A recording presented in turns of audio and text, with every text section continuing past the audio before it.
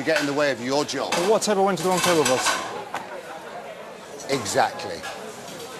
You don't even know. You should speak to Diego, your assistant. I needed to take control of what was going on because I was getting annoyed myself. You're not having a good night, Nicholas.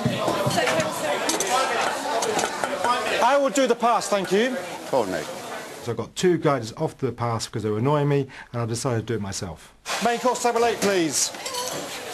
Which table, Nick? Table 8, boss, please. I don't have a table, Table 8 eight, Nick. has already had their main course. Why is Nick, it calling... why are you asking for tables main It's course already when had the gone? main course, boss. Sorry, I I think you should calm down, Nick. Go away from the pass, please. Move How away long from for the pass. 16? How long for one? Table 1 away, please. Thank you, Nicholas. And then suddenly Jody came to me and said there was a complaint on tempo 2. He got quite agitated, quite excitable, and I thought, oh my God, here we go. What's, what's happening here?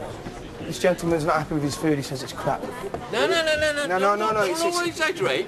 He did. Okay. He said it was rubbish food, and he said he's not happy with it. I'd just like to bring that to your attention.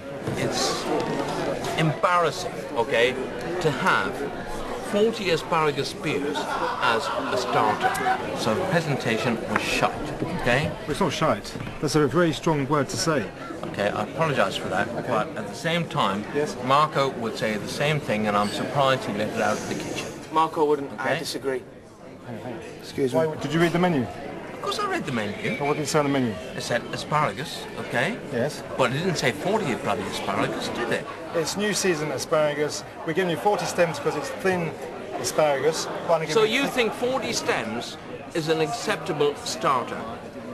Do you think 40 stems is an acceptable starter? You you've obviously just ruined your own evening. You've ruined this man here because he's trying No, his no, no, best. no. I I don't want to ruin this man No, here. but no, okay, but no, you okay. asked me. That's it. That's it. That's Yeah? it. That's it.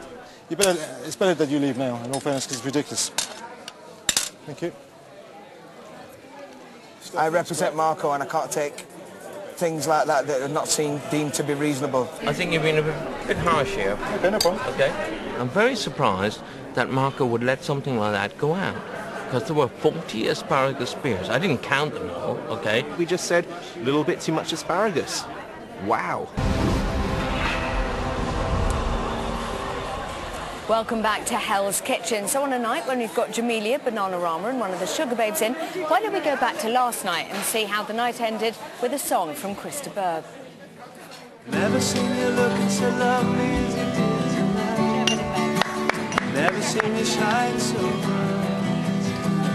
This restaurant would be successful.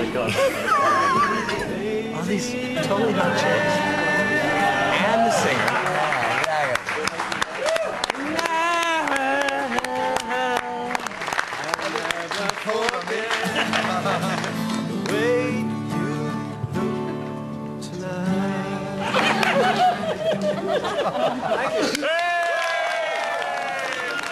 So 60 diners had been served, some more than once. And what did they make of it all? Everyone was asked their opinion, except Asparagus Man, who was sitting on the bus home, telling the driver it had too many seats.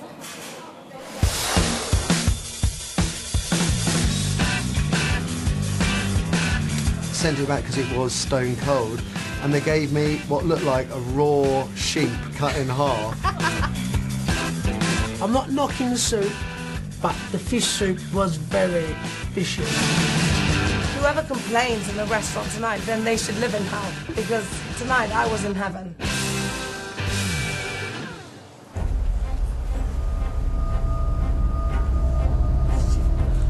Well, you two were fantastic out there, weren't you? Apparently, Marco.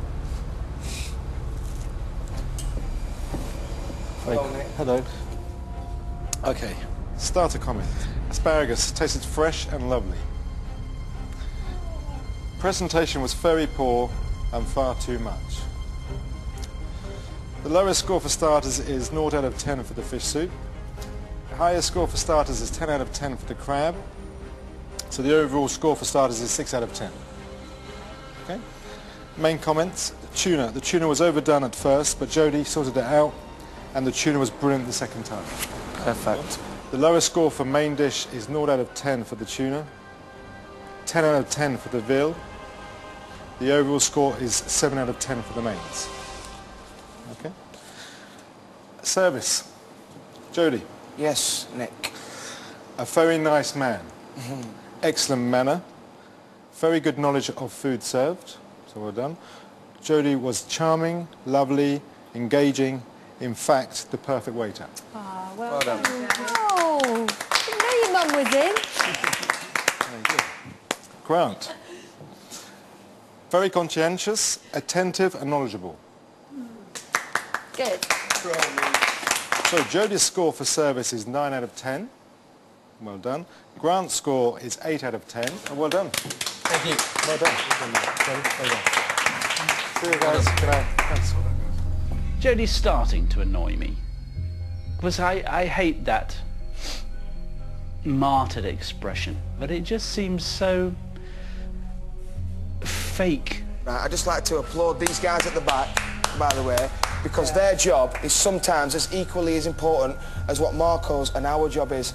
Because them people who choose to come into the restaurant and dine, sometimes their opinions are just ridiculous, uncalled for, offensive, disrespectful, and because of that, I took absolute advantage of my position and with the help of Nick, ejected them from your restaurant because they offended you, which offended me, which basically offended all of us by coming out with ridiculous comments about the food being Did you get rid of people?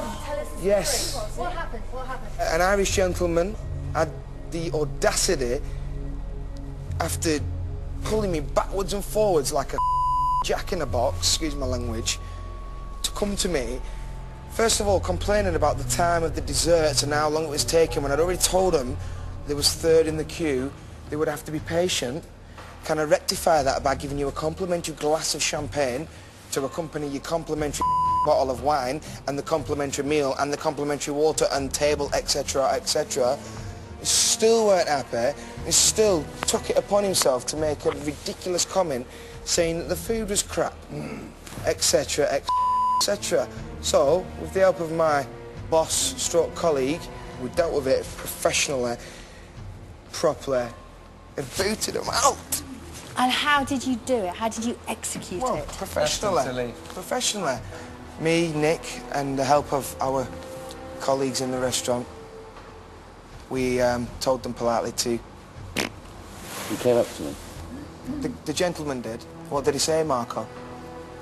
He said he may have made a few foolish comments. Okay. And he apologised. He didn't apologise to me and Nick, Marco. At the end of the day, Marco, he wanted the attention, he got it. Unfortunately, I was the one who had to dish it out to him. However, I'm quite pleased that I got to boot someone out. I told you I would. I'm sorry. It was being childish now, but still, I enjoyed it, I'll admit. Gonna say? Still my hero, but if he made me toast, burnt, lemon curd with Marmite on top, I'm not complaining. No way. Now, can anyone take Jody's place out front? Well, in a word, yes. It was time for Marco to choose the next two celebrities to be his waiters.